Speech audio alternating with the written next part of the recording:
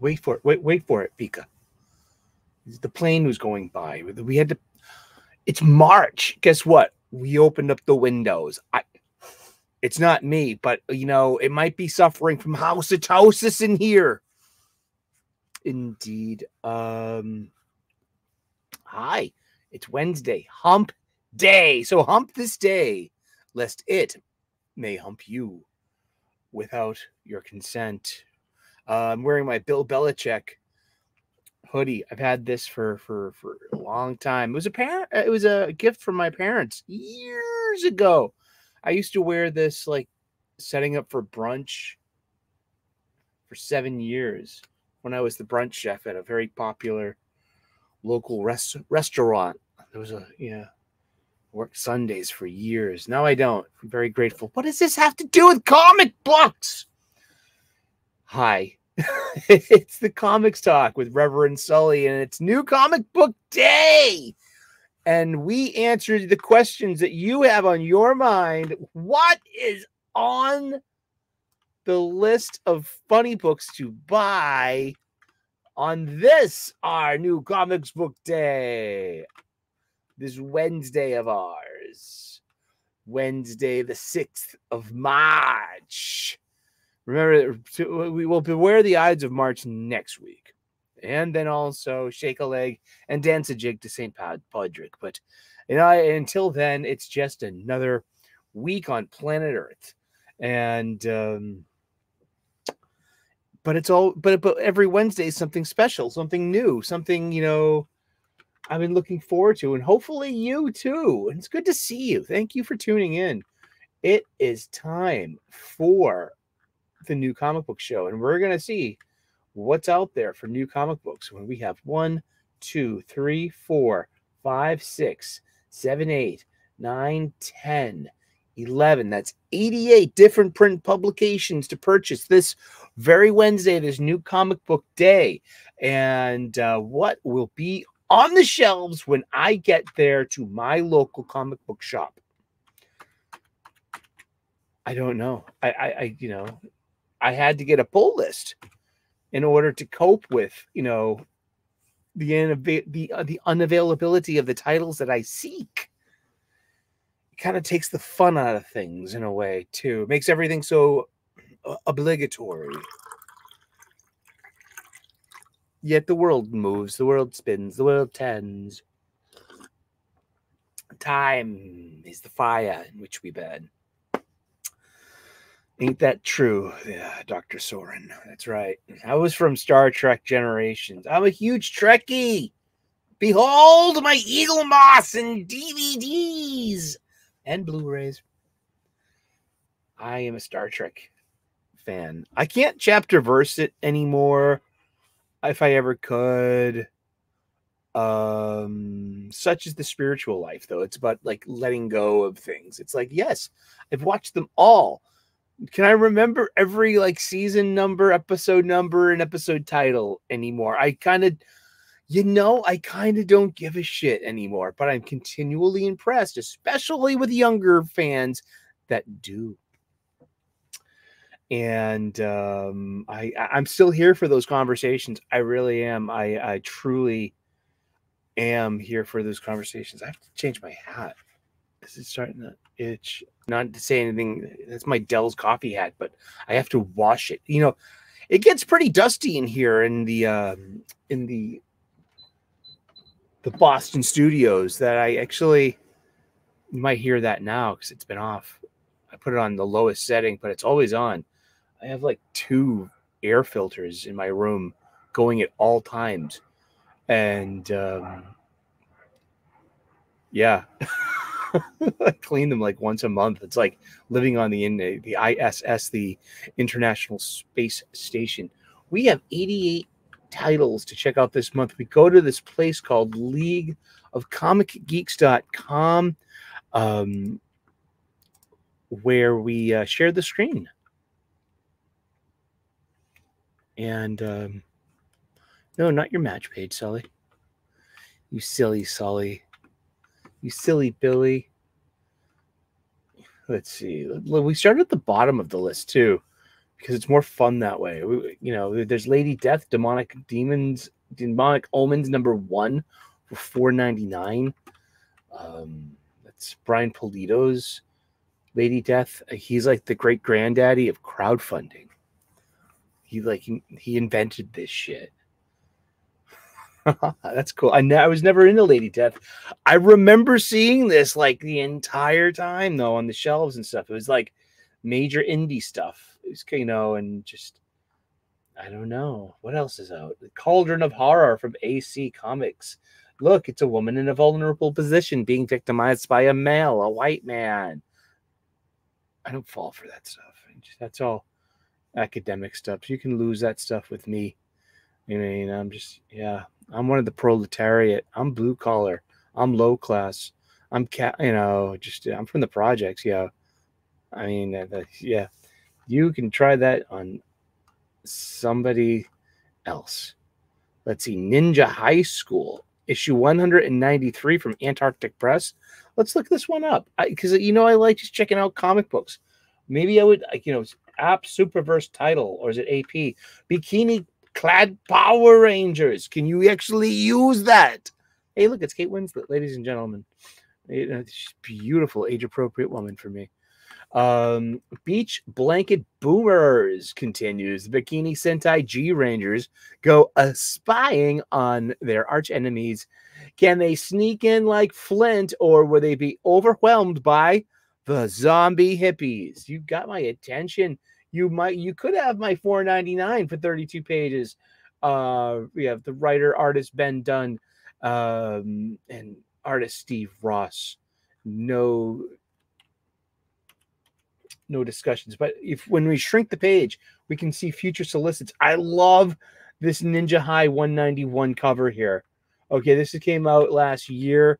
This is um, a Super Mario 3 tribute cover. I love that. But yeah, and I like the the Rosie the Riveter a cover, you know, and uh, April 24th. That's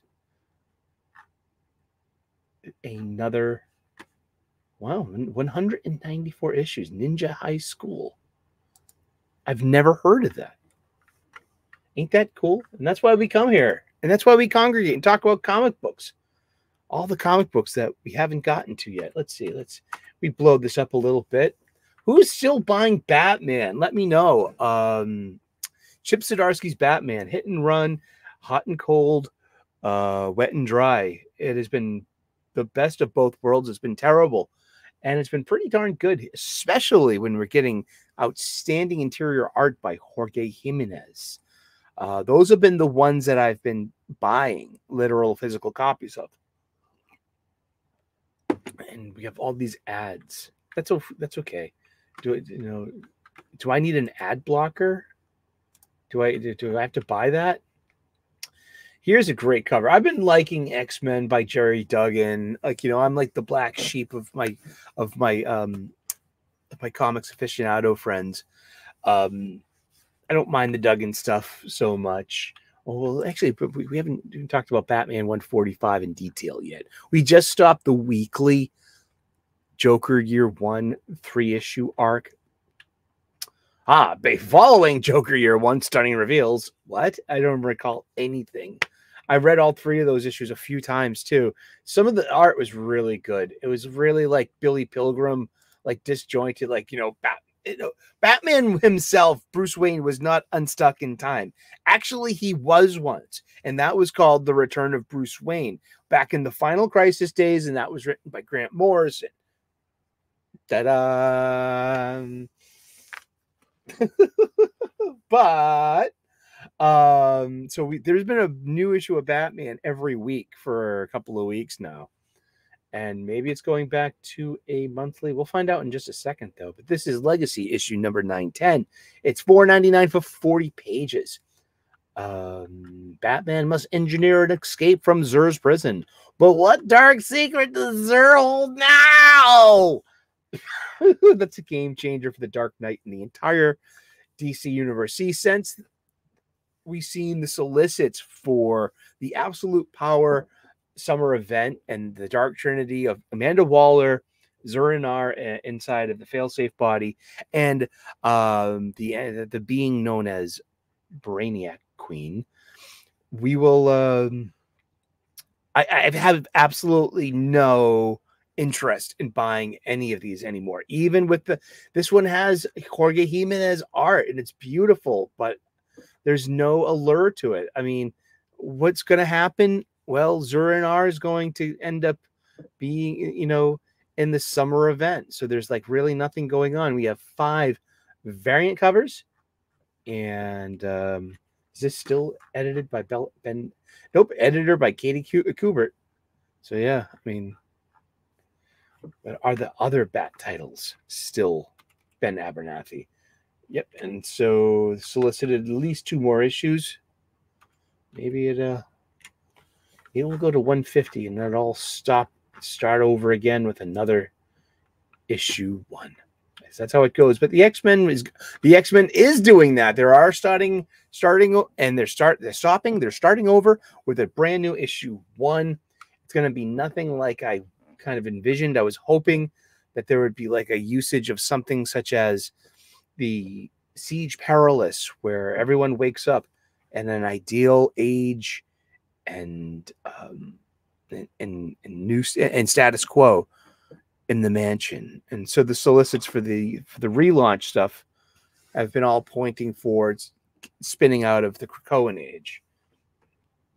And um, yeah, Besties with Buddy Bloody Blades.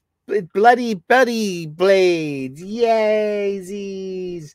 Kate Pryde and Illyana Rasputin have been best friends for a long time. They've had good times and they've had bad times. But one thing that they can agree on always stomping anti mutant bigots' heads. Fascists, bigots, um, it's all over X-Men right now. And it's like those little buzzwords of media. This is it's not about cultural literacy. This is about um they're just it those buzzwords have so much weight to them that it's like it's impossible to separate them from the real world's connotations and especially culture the, the so-called culture war and especially the um the complete and utter overuse and labeling with those terms. And um, we have four, five, six, seven. See, this is these are three different covers, but they're all like one's a foil, one's cardstock, and one has a trade dress. The ones without the trade dress are known as virgin variants.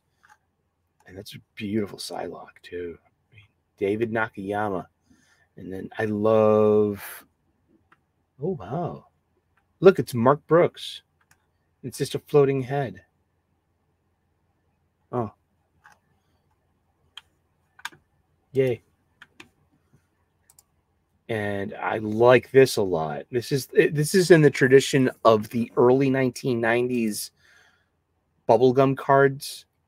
You know, you call them, you know, trading cards and uh, this is the Mark Nil armor that Tony just used. So it's it's uh, a fusion of now with it done in this retro style. I really like that cover a lot, you know. But I'm still not going to buy it. I read it though. I'll tell you this much: I, I am reading it. This is in my um, usually contained in my digital pirate chest. Arg. I've been reading all these X Men titles. I have for months now. I'm completely tuned in to what's going on with the X Men since the basically like since Fall of X started too. Um, right after the, the the Hellfire Gala is when I started getting reading X Men monthly, basically again or weekly rather, because there is an X family of titles and it's on the trade dress, Fall of X, and it's been it, it's the thing, it's the X thing, and uh, I don't know. Maybe you could find different words like uh, outside of bigot and fascists, and I mean because those are always applied to people with conservative values by liberal and progressive minded people. So it's like you're you're dragging you're you're dragging your real world shit onto the nice carpet that we have here. Can't you have taken off your fucking shoes before you came into my fucking room and ru- and wiped your real world shit on my fucking rug? Seriously, like I'm not mad at Gerry Duggan for his storytelling. I'm like I'm really questioning like why the fuck is it always bigots and fascists and these fucking stories and, and, and from the creators? This is just so obnoxious. Really, it's it's it's it, uh, yeah. I, who, uh, well, who told them that escapism can contain such you know you know real life intersections? Well, that comes from fucking HR and the and, and their Ivy League schools and 30 years of PC. That's where you know, remember this is a fucking corporate product. But I'm just like, see, like you know, how, how do you? I'm po- I'm the positive one too, and I'm usually very positive about X Men. But I mean, I mean, J- Duggan didn't write that. Uh, who somebody in the office wrote that that copy. What copy I'm talking about? This copy here. No, and somebody, yeah, this is actually, I believe, from the Marvel. Let's see, like, let's look it up. Marvel X Men X-Men number 32. Let's see. We'll get to the Marvel page itself. X, no, X-Men, not X. Mm, you, you illiterate individual. no, not that one. That's what. oh, never mind. Oh, here we go. It's marvel.com. Yes, it's from marvel.com. And it says the same it, that that's from the marvel.com's um website that's from like the solicit that has the same copy so when a copywriter hello at a magazine wrote some descriptive copy to sell uh, the, the, the the magazine in a solicit three months more than three months ago you know yeah um i know duggan didn't write that but it's like they use these words and stamping anti-mutant bigots' heads because remember, all mutants are vulnerable, marginalized communities. That's all they ever were. No, there's, there's I reject your your your your your assertion there. And you forget you have a lack of imagination and you're forgetting Xavier's dream. End of rant. We're going to Venom issue 31. Is this Torunn Grønbekk still? Yeah. Um, she's also writing um Carnage because Carnage and Venom go together like cookies and cream. Let me tell you. But and but there's going to be some um some Carnage crossover as well. Uh, see, symbiosis, necro- symbiosis, necrosis, part one. Yeah, the new Venom Carnage crossover begins here. I've been telling you, Venom's a fucking nightmare of a story to be reading for me. Um, but Carnage is very I'm liking it. I've been reading it since it's issue one. It's out for uh, a couple of months now, and um, I, I've been liking Carnage eh, because it's very much like, say, like the movie Seven, of which I barely like. And I've only seen once. I'll never have to watch Seven again. What's in the box? That's in the fucking box. oh gosh. It's a sideshow of Pepper Potts, and they only sent one piece, Brad. Spoilers. Okay. Um, yeah, sideshow. I've been getting a lot of these sideshow ads. That's great because it's I've been getting them on my match page. So it's a nice kind of like weird like evaluation of like, hey, you can spend your money and time on your little toys or on these broads. You know, who you want to play with more. Hello. Would you like a cup of coffee? Pull up a chair, grab a cup of whatever it is you're shoving under your nose today, there, pal. We have an issue one, and I've been looking forward to this, and I hope it's still on the shelf. It's on my uh, pull list. Oh, behold all the variant covers. Let's look at the variant. Get away from the with your ads. Away with your ads. I mean you no harm. Oh, the East Side Peach Momoko variant. There are 12 variant covers. This is a the East Side Peach. So this is only available at East Side Comics, and this is a Peach Momoko variant. I would, I want this. I love Peach Momoko variant. So this is the. It's got a trade dress. So it's the Peach Momoko variant with art by Peach Momoko. It's all written by Peach Momoko, and I'm going to keep saying Peach Momoko all the time. Here's the Mark Brooks variant cover. No thanks. Um, not a fan of his art style, but um, there's like another there's like a another girl who's a, a weather witch, kind of like kind of stormish kind of powers. Let's see. This is in Hyuk Lee, the armor variant. Armor is going to be a big part of this. I like armor as a character. Um, yeah, here you go again. I love this cover. And uh, oh gosh, what's her? I, I I'll remember her name when I read the book. But um, it's Ultimate X Men number one by Peach Momoko, written in art by, and um, I am really I've been looking forward to this with the um, the whole reset of the Ultimate Universe. This is a brand new character, and it's going to be a brand new take on the X Men. Where you this is a one in one hundred Mark Brooks variant. okay. sure. enough. I mean, like, I bet you he's a nice guy. I bet you his friends like him. You know, I love this. I want this is the one I want. I want this one in ten Peach Momoko design variant. This makes me happy. This uh, this this gives me much joy. I love this, and that yeah, that's uh Ultimate X Men number one. Hey, that's the wrong button. Good thing I didn't. Good thing it wasn't my my my Brazzers account. Jeez. Uh, it's, not only uh, it's not just Birch will tell you about uh, Riley Reid. So yeah, it's Peach Momoko. Oh, she's so cute. I like her. And um, let's zoom out on this a little bit. Let's see. Okay, only three issues have been solicited so far. But that goes to May. We have not got we have not got June's solicits yet. This is true. And um, here we go. Let's uh, bring that right back up. But yeah, Ultimate. We let's read the blurb for the Ultimate X Men. I've been looking forward to this. Visionary creator Peach Momoko from Demon Days and Star Wars Visions and sneeze that's why I had to take my other hat off because it's it's it's usually overhanging on the, the thing and it's like everything needs a washing because it's so dusty in here. So I put it on and my my head started itching. So no, I just gotta like wash it. I don't I don't throw it in the dryer. I let it dry in the window. But yeah, I mean you can wash your you can wash your hats and they need a washing here and there. They really do.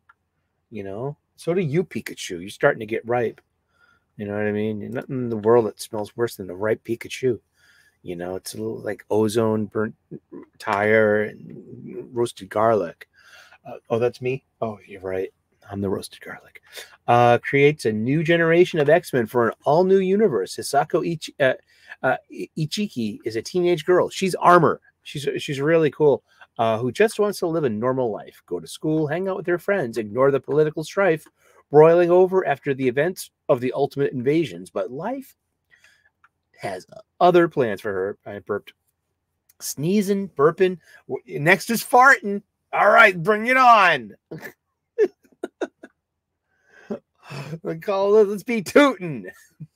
Rootin' tootin'. Um, but in Japan, urban legends have sprung to life and brought some unusual new powers with them. Meet armor and May Storm. May Storm's the other girl here with, and she's like, you know, May Storm, me uh, and a group of new Ultimate X Men, the likes of which you've never seen before. It's five ninety nine for forty pages. Um, and this is this this the common issue number one cover, done by Peach Momoko. Um,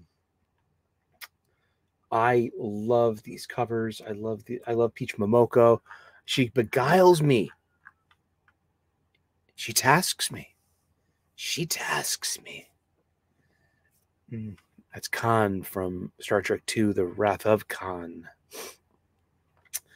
And um, yeah, Peach Momoko makes me think about art. She makes me like contemplate forms and function and storytelling.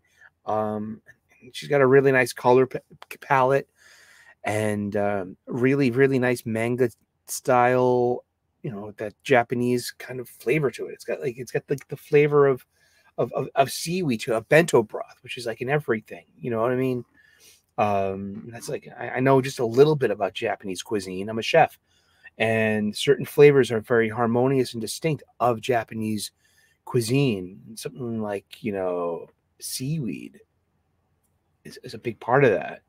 You know, and making making that seaweed broth, and that you know, and that's the foundation of, soups and, and of, sauces and of, the, lots of different things. I am going to enjoy this, hopefully, and uh, I've been looking forward to that. This has been a good book. A Happy part of my um, of my digital pirate chest has been G. Willow Wilson's Poison Ivy, where we where we still have room for cheesecake covers like this uh, for Women's History Month. Look and see, we got the we check it out this trade dress, and it, it, it has got you know it's it's quasi pride-ish too because it, it has some kind of like undefined spectrum. So usually pride flags have have panel almost like panels, strips, definition, um, shading, uh, you know, and but this is just like it's more, you know, but this is also that's a cheesecake photo. That's that's woman in form and function. That's to be pleasing to the eye. It's to be to be beheld. And part of that's part of Poison Ivy's story too is that she's a femme fatale. You can look, but you can't touch. She's poison, literally. She'll, you know what I mean? And she also has the power to sway men or women too, with you know her kisses, which introduce a toxin, you know, and you know, and poison you. And um, she's very chesty. I like that.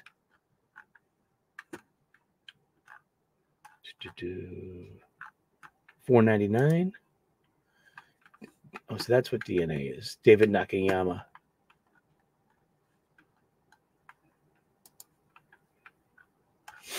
We have a Yannick Paquette cardstock variant. That's a nice cover. So she, this is using uh, this is Pamela Isley's like experiences in, in in in grad school, and now she's becoming a a petty thief with her and her lover, the professor Jason Woodrue, and uh, who's taking advantage of his of his student. And um, Tula Lotay, cardstock variant. Look at this. Interesting, huh? It, this is like art appreciation. I, I, really dig art. I dig art appreciation. I did, and here's the Dan, uh, the David Nakayama cover, Virgin cover. See, we, and but we do get just we get the maker's mark, the DC maker's mark there, but there's no trade dress such as the the brand which is the title itself, and the UPC barcode and the issue number. But um, yeah, that's our that's our prime cover here. Indeed, it's been fun. I've been reading, I've been reading uh, Poison Ivy for a couple of months now, and I'm impressed with that. That I'm I'm liking it. I'm sticking with it. I'm not buying it. I this is a a nice part of my uh, of my digital pirate chest. Would I buy it? I don't know. I'm, I'm not buying Catwoman either, but and I'm not buying Harvey uh, Harley uh, Harley Quinn either. But I am I have been tuned in to all three of these female led, female written Bat family titles. And like, you know, just but Poison Ivy's been pretty decent. Catwoman, Sense, Gotham War, has been pretty decent for the past four issues. I've liked Nine Lives by Tini Howard, and um, and then there's also this too. Also part of the Bat family. How can you tell? Because you have the Batman signal. Oh, that means my laundry's done. Pre-recorded for, for Wednesdays. We do a live stream on Sundays at 3 p.m. US Eastern, but for uh, Wednesdays on new release day, this is a pre-recorded show just so you know, um, uh, I, I do, you know, premiere it at 4 p.m. So it's hopefully this is us right now. We're at my local comic book shop. I'm talking to the staff. I'm talking to you. I'm talking to other get. One of my favorite things is to talk to other um, other customers and be like, "What do you got? What are you buying?" You know, stuff like that. I love that. That's like, you know, just I love seeing what other people are buying. I love like talking to like you know parents who are like, "Dude, you brought your kid to the comic book shop. That's awesome. Like, you know, so you have a small person. And I love that the staff know how to talk to kids. Like, okay, just keep your hands to yourself. You know what I mean? Don't knock over. They're great with kids. I love my local comic book shop. I'm there right now with you. Hopefully, you know. but um but yeah, this is Birds of Prey by Kelly Thompson. And um I've been liking this. Actually, well, I like five. Oh, hello. I love a big Barda cover. And um I don't know. Chicks with tattoos don't do it for me. Sorry. I know that that's is that judgmental? I don't know. Chicks are judgmental too. Ask me. I'm I've, I'm still dating. Like chicks. Yeah. Oh my gosh, the worst thing in the world is to say that you're allergic to down or allergic to cats. Maybe is mentioning allergy. You know, because it's like we can't go back to your place because you probably have down pillows, you know, shit like that, and, or cats. And I'm, I'm definitely allergic to both. Where was it? It's a was that admitting some kind of weakness or something? But this is a great Pablo Villalobos cover. Uh, I love his his big Barda. This is that's a great cover. See, this is I would I would buy that. It's really nice. Women's History Month. Yeah, you see, you see that that trade dress there. I mean, doesn't that look like a Pride logo too? I mean, is somebody is it you know whose choice was that? you know, um it's it's supposed to be fun. It kind of is. It's QTUT. It's one in twenty-five. And this is Birds of Prey issue seven. So it it it lived longer than its six issue initial run. So we haven't we haven't we have achieved an ongoing sh- uh, ongoing title, and with a new story going in a with a new team apparently. So may, perhaps like every arc, Black Canary is going to assemble a new team of birds to prey upon the criminal elements and things. Hmm. And we still have the Dawn of DC trade dress, which we're losing soon.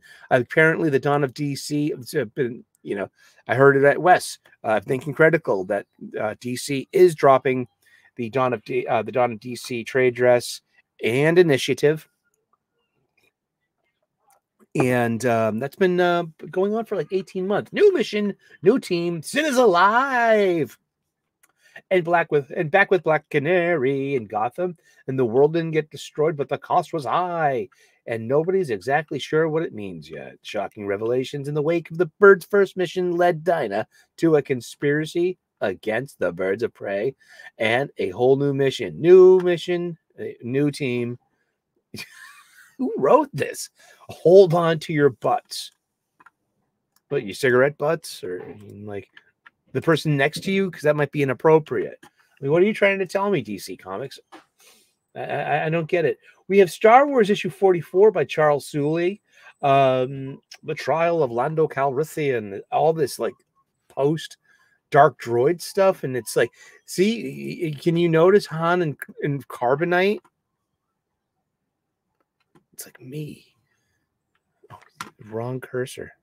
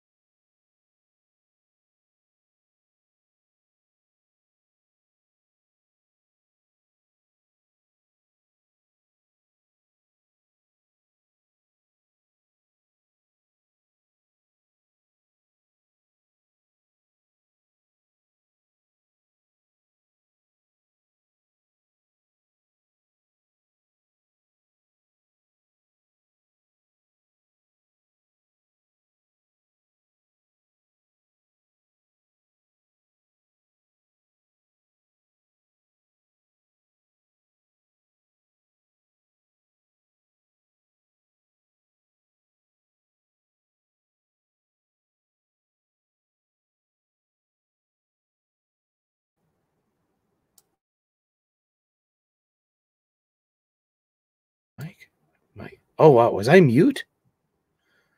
Oh jeez. I'm sorry about that. Pika, I told you don't touch the buttons. Good thing I you know, keep a heads up. Um so yeah, that was that's um all of these Star Wars comics are like set before Return of the Jedi. And um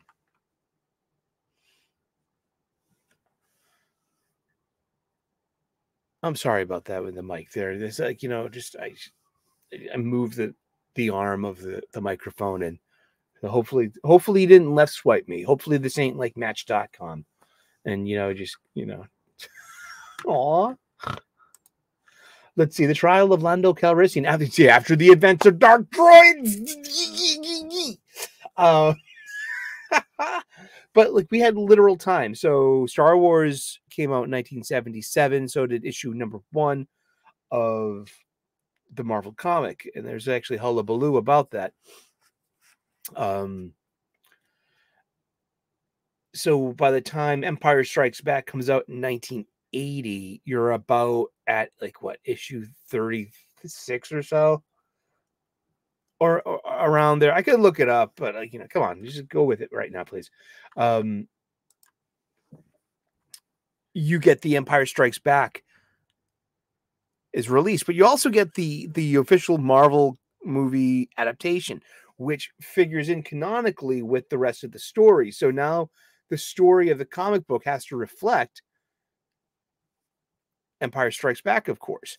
And so we have this whole era between Empire and Jedi in the original Marvel comics, which we have the first appearance of the Mandalorian in issue 68 um, with Fenn Shysa, when we have like Rick Olié, this kind of like weird Han Solo substitute that befriends Luke, and um, on the search for Han Solo.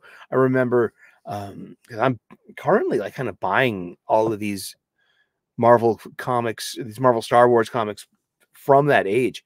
Um, I am uh, looking for it too because I had it as a kid. It's like Luke and Lando are on a planet. I think they're on Ord Mantell of all places, maybe. Uh, and they're they're tracking a bounty hunter who has a very familiar looking carbonite uh, obelisk with them, and uh, it turns out being um, uh, one of Greedo's people. He's not a Neimoidian. I, I, I see. I used to know all this stuff, all this chapter verse stuff.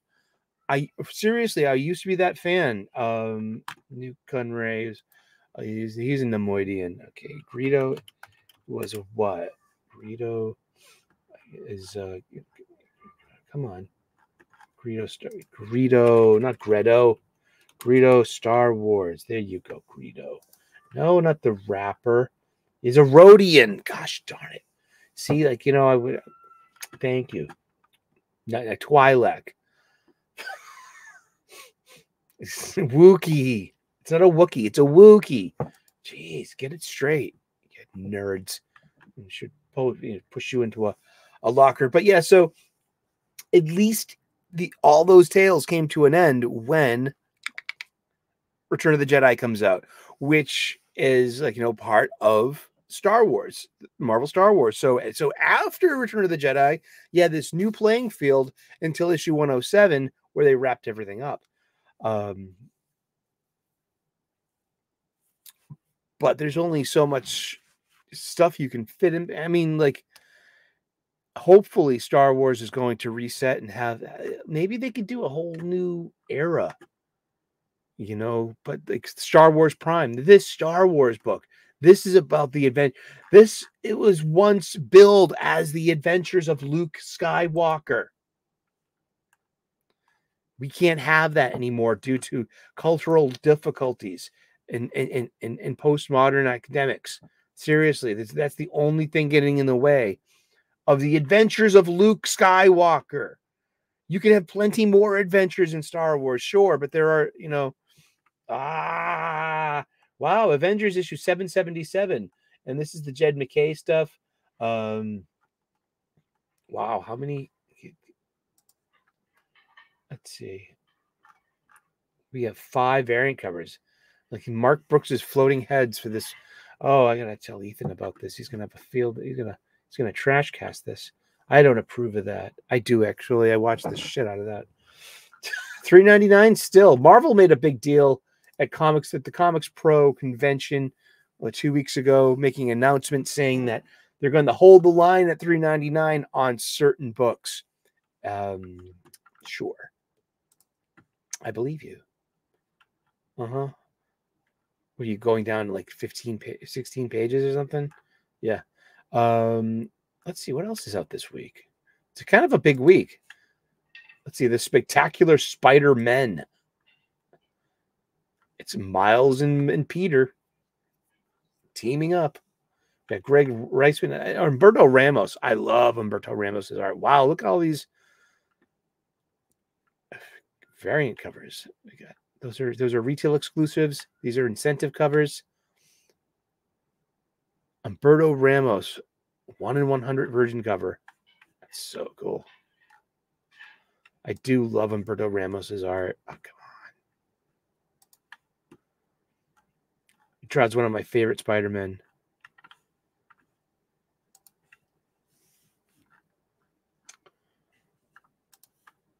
I would I would get this just for the Humberto Ramos art because he literally does draw one of my favorite Spider-Man. 499, 40 pages. It's just like I've got so many issues number one of different Spider-Man comics over the years, like Marvel Knight Spider-Man, um, Spider-Man's Tangled Web, Web of Spider-Man.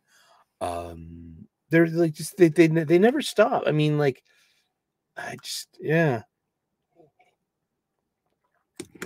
But yeah, I mean, like sometimes I'm yeah, I'm just in for creators, and I would be in for just I would be in just for uh, for Humberto Ramos, of whom I met at Wicked Comic Con last year.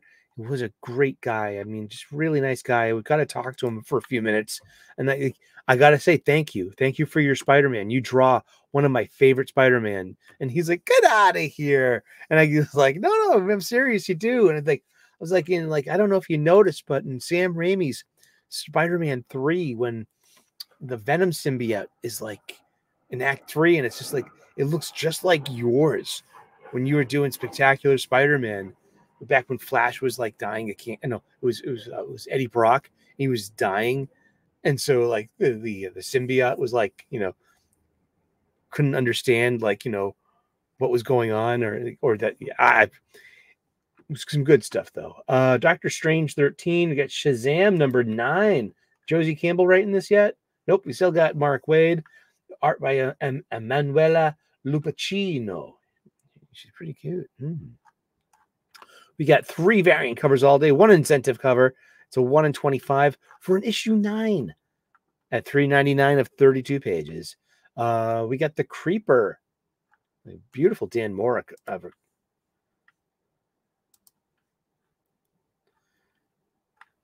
Dan Mora covers are, are, are, have great line art, but then you get all of this digital shading effects. See all those like the little dots you see that? The texture and the shadowing on the cape. You know, that's like those these are all digital gradients. No inks were harmed during the production of this comic art. Gunslinger Spawn still at 299. That's good. Let's see. King Spawn for 299. I don't think my my my my, my store carries Spawn. I could I could put it on my pull list. I probably get it, but I don't read it. But it's probably they don't probably make anything off it or something. I have no idea. This is a great cover. It's cheesecakey. You know, it's not revealing. It's not, you know, it's cutesy ootsy, kinda, you know what I mean? But it's like, you know, Space Girl. Cute Space Girl. I, I, I like that. Kind of reminds me of Aaron Lepre- Lopresti's Carter, which I backed as a. Uh, oh, this is the Mark Brooks headshot. the Ben Harvey variant cover by Ben Harvey. That's pretty cool. And yep, there's the color. You see it? Oh, just that's the boring background. Yeah. We just we, we, saw with the well we, literally see with, with like you know this is the line art. Okay, on, here we go. Here is the line art. This is what the artist drew. You know, probably and he probably probably on paper, maybe you know, but yes, that's the shading they used. Um, this is this is pencil and inked, and um, everything else That's the sketch variant. Yeah. All right. Now everything else is digital. That's right. Especially that background. What's the big deal with you in the background of digital stuff? I don't know. It's just a matter of taste, dude. Sorry. Let's see. Going at least eight issues. Cover coming soon. We've got ah, see, they're hiding. They're hiding the covers. She's in a romantic relationship with Jack of Hearts, and uh, who comes off kind of baby girl. That's you want. We were talking about this on Wes on on Saturday and uh, like the whole thing of the the baby girl fad of like non toxic idealistic you know for progressive urban women. Yeah.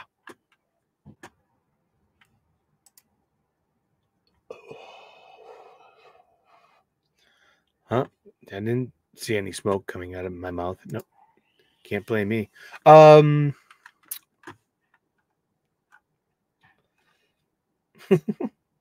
Rainbow Rowell is writing this. The conclusion of She Hulk and Jack of Hearts' epic space effort. Your heart is not ready for this issue. The action will get your heart pumping just in time for us to break it. Maybe that's the last issue. That's the May solicit.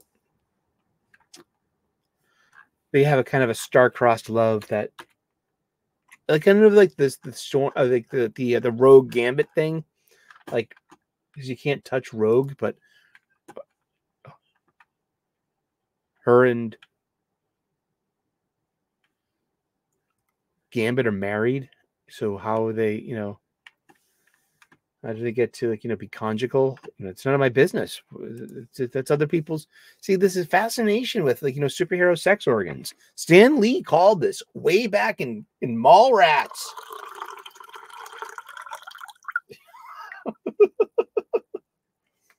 it's out of hand. Like these advertisements, bloody hell. Jeez. Doctor Strange number 13. Beautiful Alex Ross covers, but been kind of like on the fence with this. Uh, with this, this is written by Jed MacKay. Um, 399, 28 pages. Jed MacKay Pascal Ferry returns. Great. You get two variant. You got one variant open order variant cover with Clea, and you get a an incentive cover by Nic- Nicoletta Boldari. Boldari. But what you know what we get here is you know it's like night on new york with doctor strange. We got black cat. We got the original non-gender swapped taskmaster here. And then is that like one of the moon knight people? Is that the new moon knight or is that hunter's moon like who is a character of the i see i don't i don't know any of these like Moon Knight characters, and I've been like reading it for a couple of months too, and I still don't know anything about this stuff. It's fine. I'm still happy to just be reading these comic books and experiencing them, and then talking about them on Sundays. Void Rivals number seven, my friend AL in the chat's overjoyed. I hope that you get your copy and you're on your pull list. Uh, Darak and Solita traverse the northern wasteland. Danger lurks around every corner. This is written by uh, by, uh, by Robert Kirkman, and um, I got one issue of this. I got the the one in twenty five uh, variant cover just in case. You never know because it was a key issue. Apparently, it was like the the first issue of this the the Energon universe. So, uh, but uh, I haven't been reading Void Rivals. It's it hasn't been my cup of tea.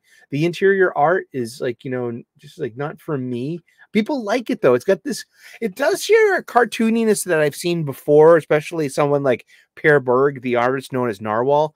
Um, so it's it's it's just because it's cartoony doesn't you know you can't dismiss it. I mean, look at like you know Art Spiegelman's Maus. Uh, just like cart, you know, cartooning works. Look at Charles Schulz's Peanuts.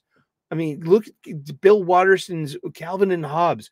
I mean, cartoon just because it's something's cartoonish does not diminish its its storytelling or its uh or even its its art, but it's about expression and um so Void Rival has that, and, and they look they have a one in ten, a one in twenty-five, and a one in one and a one in fifty variant covers for Void Rivals.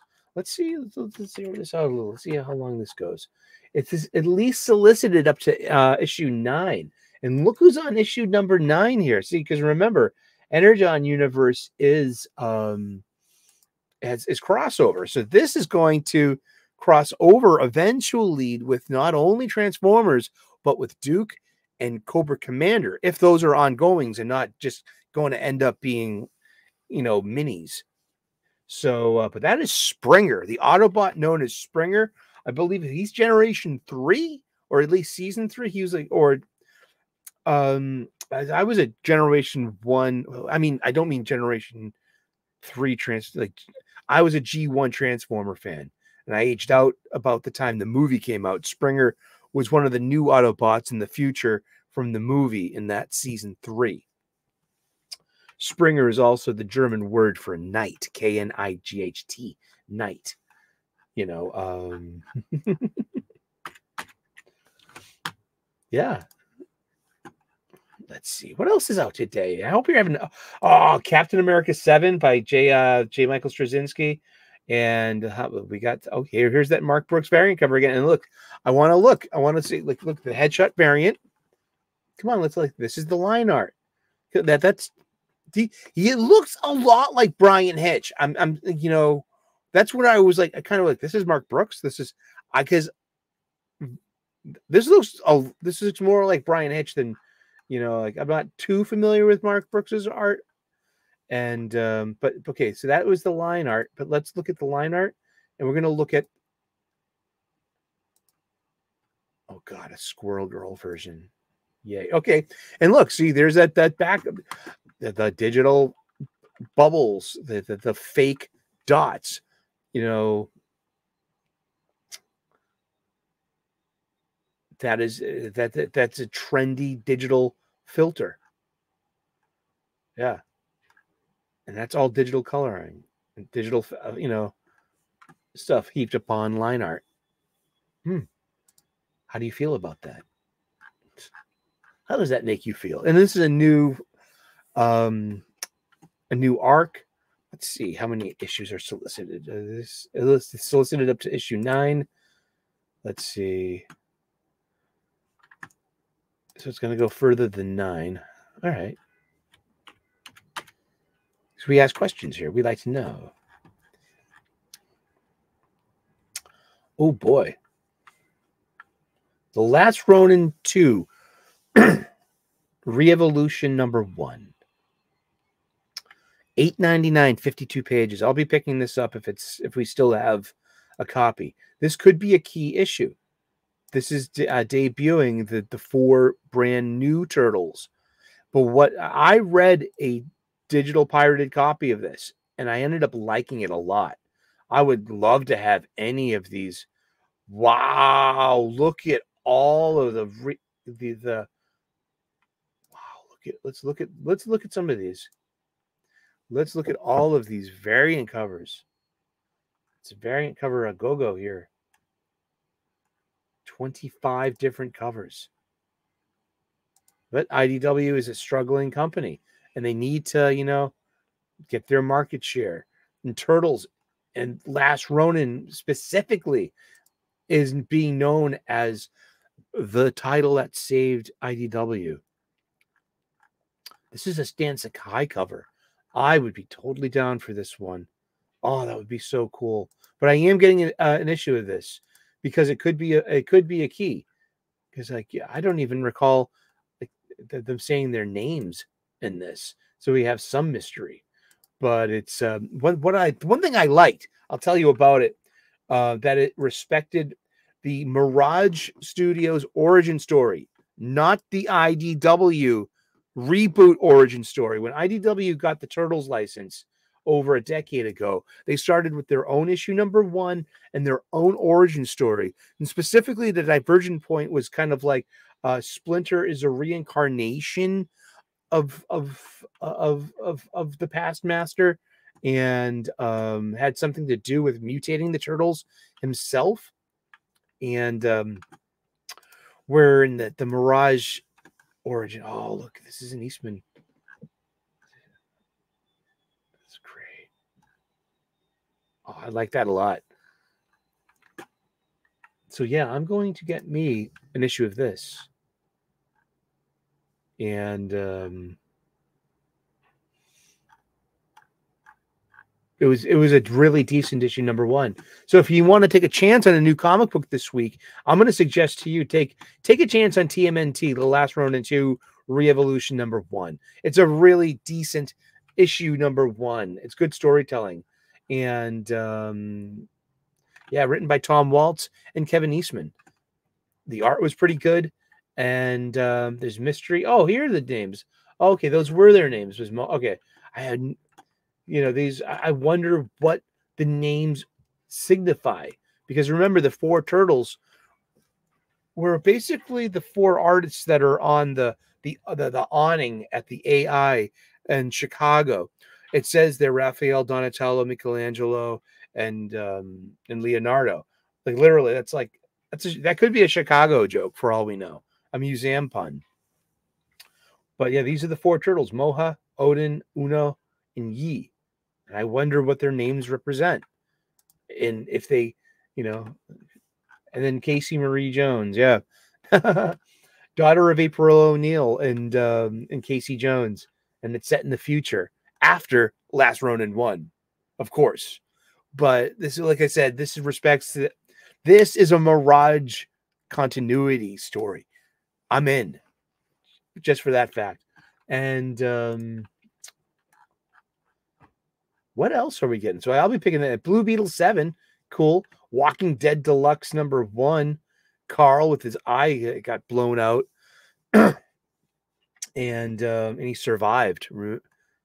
And but you know, hey, show uh, fans of the show. I mean, geez, it's, it's a much different story in the comic book.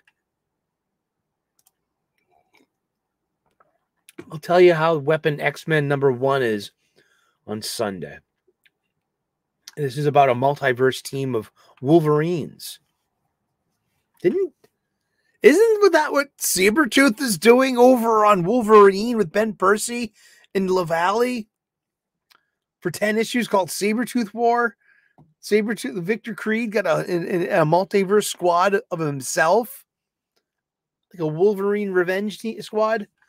Thanos 4 of 4. We've got Fall of the House of X. So I, I have to read this. I read them all, to be honest with you. You know, we have so many variant covers. But I think she, I think she's adorable.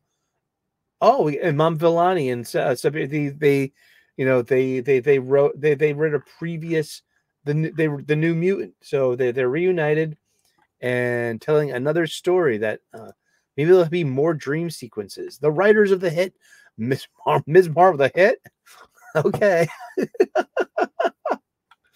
and um yeah, Iman Vellani, she's like, you know, she's grown up right before our eyes, man. She's a freshman in college where she can like get her download her her feminist frequency or something, you know, and challenge her Muslim parents with you know American idea with American postmodernist ideology. Hopefully they'll uh, that that would be interesting. you know what I mean? Not three issues at least. But remember, that's these are issue ones solicited in three months in advance. So blah blah woof woof, all down the line. You know. Back to the action here. Let's see. Ah, Teen, Teenage Mutant Ninja Turtles Saturday Adventures. This is a pretty reliable book. Superman 78, The Metal Curtain. That's been this has been an, the gift that keeps on giving. Uh, issue number five. The Sentry. Oh God, thank God this is over. Kneel before Zod number three. Okay, I'm in for that. Um, this is going 12 issues, but uh, there's a series of giant sized books and um, oh, because it's the 50th anniversary of the giant sized, you know, book, Marvel Giant Size. This is just a terrible book itself too. This is the last issue. Um, Sentry versus Sentry. Blah blah blah. Like I think. Let me just check that real quick down here. Yeah, only solicited four issues.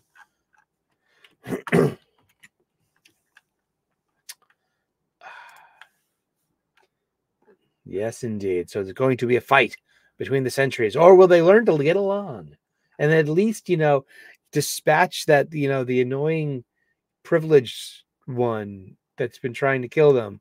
You know, just Mallory Gibbs, with he Ryan Topper, and um, See, Ryan's the one with the with the attitude problem and wants all the power to himself. He doesn't want to share his power and his privilege and his, his access and his resources. And he wants to take them from the other people's. Specifically, this one, Mallory Gibbs, the lady of color with a disability and who lives lives in a wheelchair and just has, you know, and just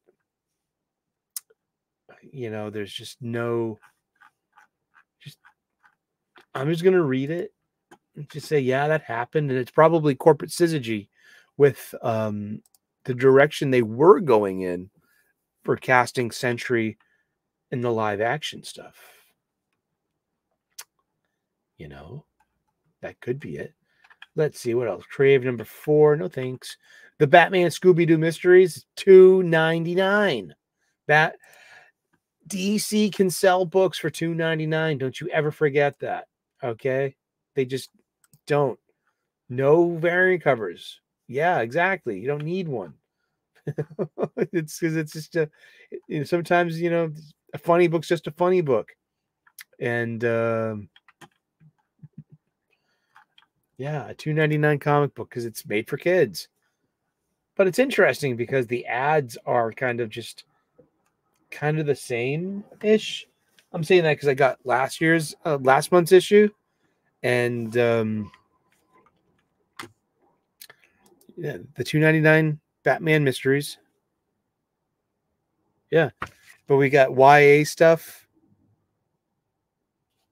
I haven't even heard of this, but it's by it's by Grace Ellis, drawn by Penelope Rivera Gaylord, and it's Diana's and the hero's journey. It's not the heroine's journey. They're not actresses anymore; they're actors. You're being mean, Sully, with their distinted us. That's you know.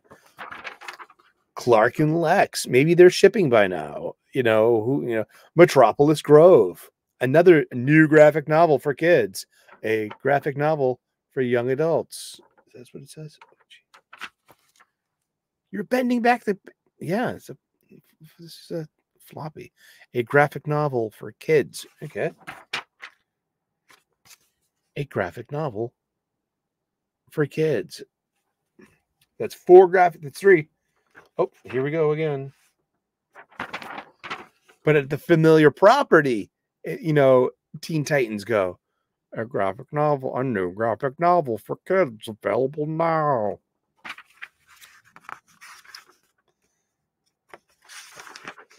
And wow. wow. You know what I'm wowing at? Interior ads. There are there are no interior ads. The only ads are on the inside, the outside cover, the two inside covers, and the final page with the indicia. on the Indicia page. We usually get a preview art of next month's issue. But yeah, I mean, there are no ads in this story. Not even in the, not even in the center. You didn't. There's not even a splash page though either. You know, sometimes we get a huge splash page in the center like that. but yeah, the Batman Scooby Doo Mysteries. It's a. It was a fun book too. Uh, two ninety nine, and I got it just just to look at the ads because that's what we do here. We look at ads in books. These are pure. These are periodical publications on a newsstand, you know, or traditionally in the 20th century. But guess what? We're not in the 20th century anymore. We're in the 21st century. Oh gosh. Here we go. Here's a here's a good one for you that I'm gonna avoid. I'll read, but uh it's 20th Century Studios imprint for $5.99.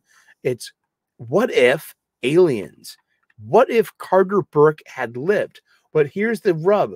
Carter Burke was played by the actor Paul Reiser and you might know him from the NBC sitcom. Um, uh, what was it? Uh, Baby Don't Stop. Oh, Heaven Can Wait. Um, oh, geez, what was it? You know, someone, someone shouting it out from the back row right now, being like, "Paul Reiser sitcom." Let's see if I can't remember. You know, uh, you know, my two dads. No, but that, he was on my two dads, and um, Mad About You. That was it. Yeah, mad about you. But Paul Reiser was Carter Burke and James Cameron's 1986 Aliens, the smarmy uh, Weyland-Yutani executive who uh, is there to ensure the xenomorph is acquired. You know, so um, there are variant covers. A Skottie Young variant cover. Wow, you got a one in 50 Adi Granov variant cover, and it's a virgin cover uh, one in 25. Um, for for what? For, for aliens. Let's see what it's solicited up to three issues. This specific what if alien. So maybe if what if Carter Burke succeeded, I guess, you know, if like he was able to you know, impregnate the crew with eggs and bring them back to Weyland-Yutani and to weapon. We kind of seen these like if you've not if been reading Aliens as long as I have, especially back in the the earliest Dark Horse iteration, that was like always part of it. And the most scariest part is like when like of course you can't control the xenomorph. You only can pretend to you only you only think you might be but it's a lot smarter than you think let's see the last mermaid number one Uel Carter uh, my friend at, at uh, fantastic comics of berkeley california suggested this. And um, i'll keep my eye out for it. 399 32 pages on image comics issue number one. And um, a lone mermaid roams an endless wasteland on a quest beyond reason. Maybe she's like, maybe it's like a fishbowl and, and a power suit. That'd be interesting. Let's oh, check it out. You know, take a chance on it on a on a new comic book.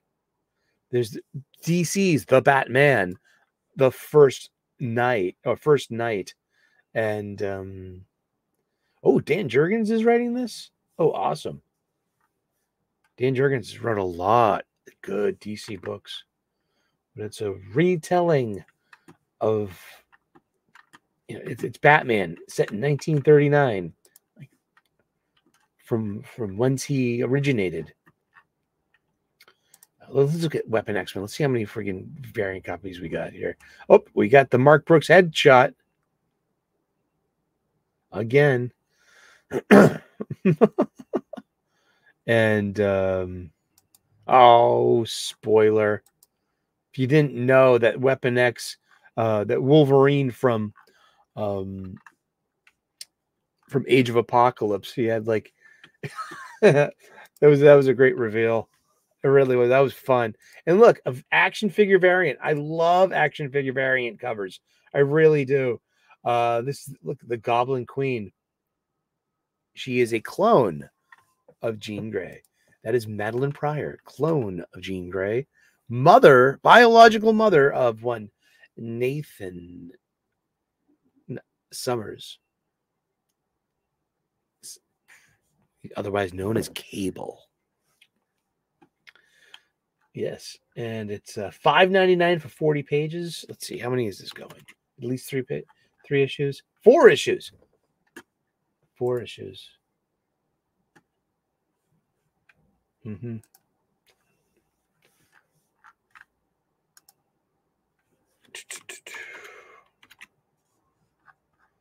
What else we got this week? I hope you're having a great day. I hope you're feeling awesome. I hope you're doing awesome. Thank you for tuning in today. Oh, look, Star Wars: The High Republic. I've actually been enjoying some of these. This is High Republic, High Republic Volume Three, so it's like Season Three. So, um, look, five variant covers for for for an issue. Is this issue issue four? Some random issue four.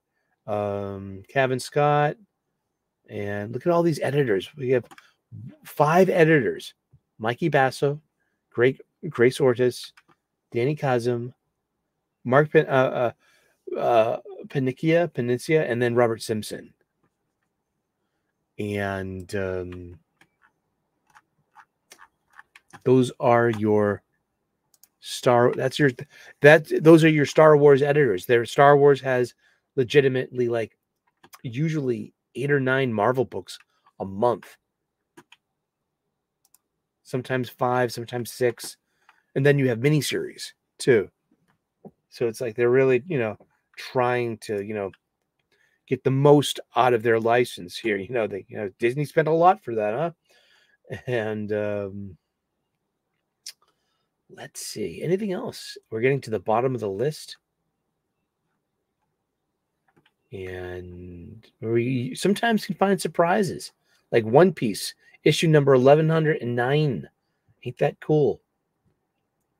Let's see. Godzilla, the best of Destoroyah from IDW. Uh, Marvel must haves. It's a free comic. Let's see. Look, Betty and Veronica, Friends Forever Sleepover. Yeah, but are they shipping yet? Are you? Are we? Are we have we put them together into like you know? Are we like have have Betty and Veronica ditch the idea of Archie for each other? And is, is that just like some kind of cherry pop tart, you know, fantasy, you know, that I'm having? Um, what else? Knights of the Dinner Table number 311. That's cute. That's really fun. And we're back down to Ninja High School that I said if I found Ninja High School, I would give it a chance. And that's it for new comics this week that we've previewed. Indeed, is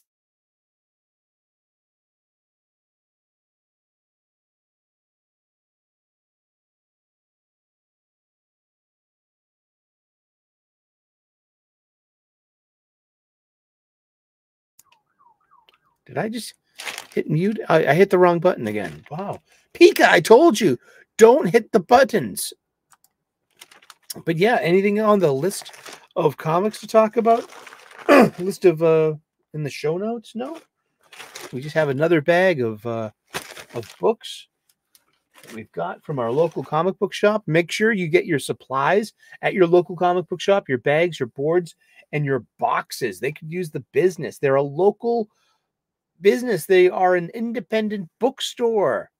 So yeah, like I get my supplies at my LCS, my local books, my local comic book shop, because you know I don't get them from my online supply chain. I tell you that much. I could be saving a buck or two, but you know I like spending money. You straighten up, man. Seriously, what's wrong with you guys? No slouching on the job. Gee. Thank you so much for tuning in today. It's the new release, it's new comic book day. And uh, yeah, we've been just been going over what I'll be getting, what you could be getting. Let me know in the comment section. And please like and subscribe. And if you're new to the channel, yeah, turn on those notifications. We're still a growing channel here. So um, thank you so very much. God bless. Namaste. Good luck. And we will see you again in those funny pages. Ciao. Bye bye.